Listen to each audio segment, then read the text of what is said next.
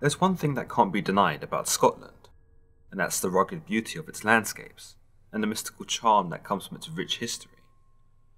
Therefore, it comes as no surprise at all that with Michael Scot, we have what is said to have been a real life wizard.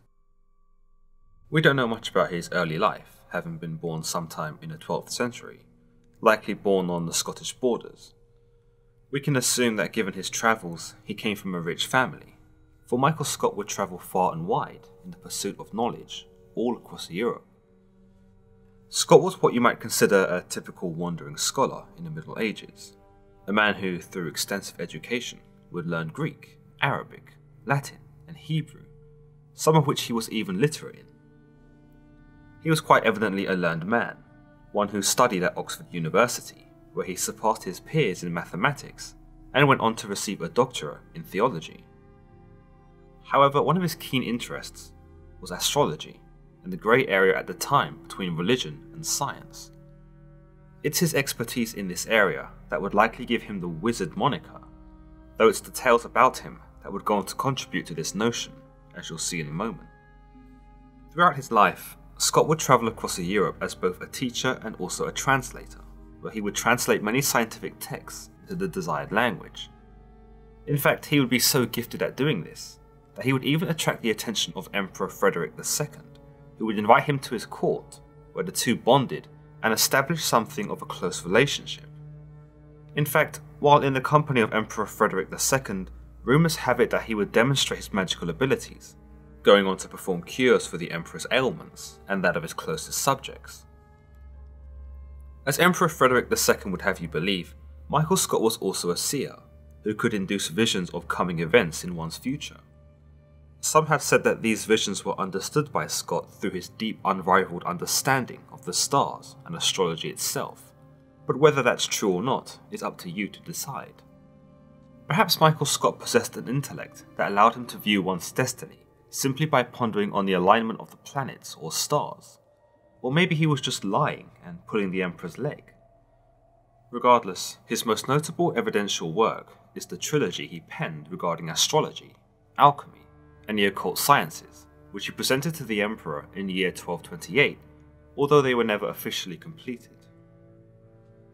Scot's work was also described as being ahead of its time, as a recent study of a passage of Scot's writings revealed that he spoke about the phenomenon of multiple rainbows, a phenomenon that has only recently become understood by modern physics. Emperor Frederick II would look to Michael Scot for some of the biggest questions, whereby in a letter in 1227 he asks Scot a rather broad request, and that was to explain the universe. He would also go on to ask Scot a range of difficult questions, including the foundation of the Earth itself the geographical location of heaven, what lies beyond heaven, the precise location of hell, and where God lived. He would even try to catch Michael Scot out, going on to ask him how far the moon was from the church in which he prayed at. When Scot gave him his answer, Emperor Frederick had the church roof lowered in secret. Upon confronting Scot with the new numbers, Scot simply explained that either the moon had gotten further away or somehow the church had gotten shorter. The death of Michael Scot remains uncertain. However, a popular legend speaks of Scot foreseeing himself killed by a strike to the head. Therefore, he was said to always wear an iron cap to prevent his death. The legend has it that one day he removed his cap in church, only to be struck by falling debris from the ceiling, where he'd die. The legends only seem to become more and more intriguing though. Some have said that when entertaining friends, Michael Scot would summon spirits to steal food from royal kitchens from around the world.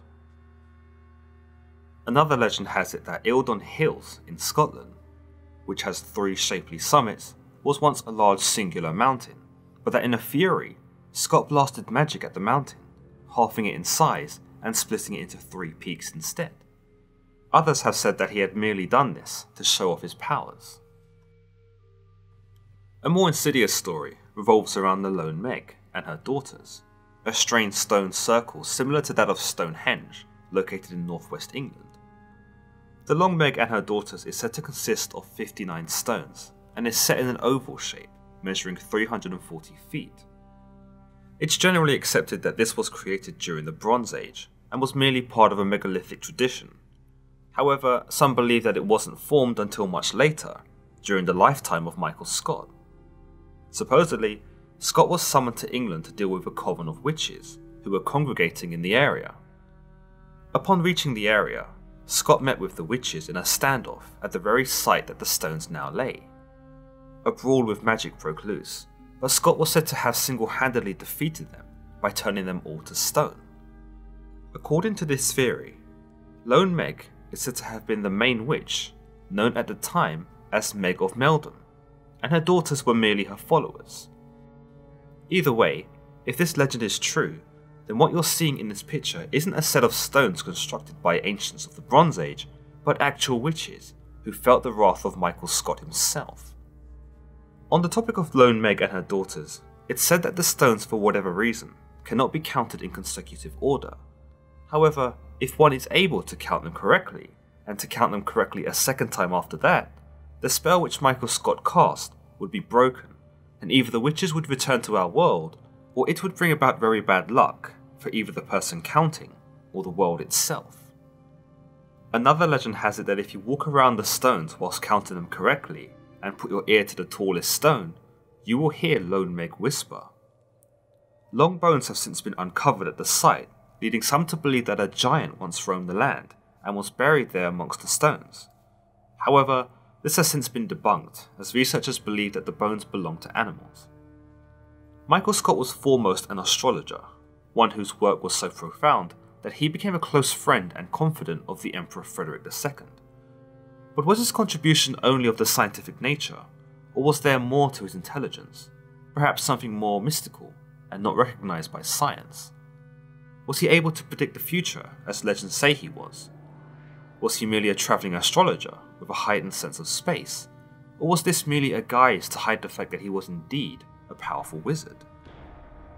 Let me know your thoughts in the comments below, and don't forget to like this video and hit the subscribe button. Until the next time, guys.